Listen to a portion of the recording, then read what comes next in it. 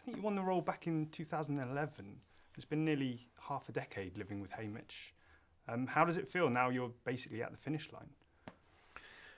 Well, I, I, you know, it, it has been a hell of a journey, and uh, I got to say, I, I, I, I, not only did I like playing the character, I feel very lucky to have played Haymitch and just to have been uh, uh, jumping into these scenes with these guys and uh, getting to know really some of my favorite people that I know now, you know, uh, as well as the fact that I think really good movies were made, uh, maybe great, and also uh, with an important message.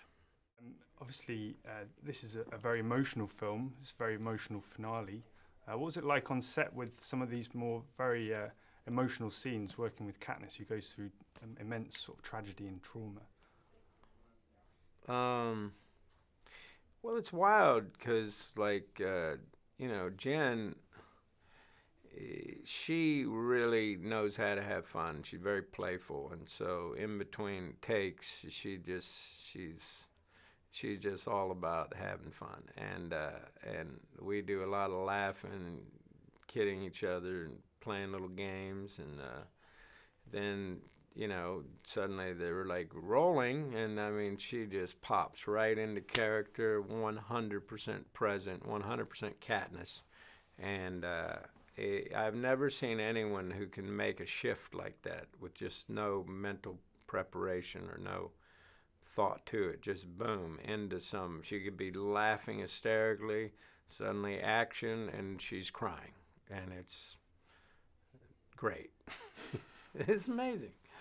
She's a pro. Yeah, um, she's a pro, yeah. I think I've got time for one last question. Uh, Haymitch is a hugely popular character. Uh, I don't know if you realise on social media there's a few people who would like to see a spin-off Haymitch movie. Would you be interested in something like that?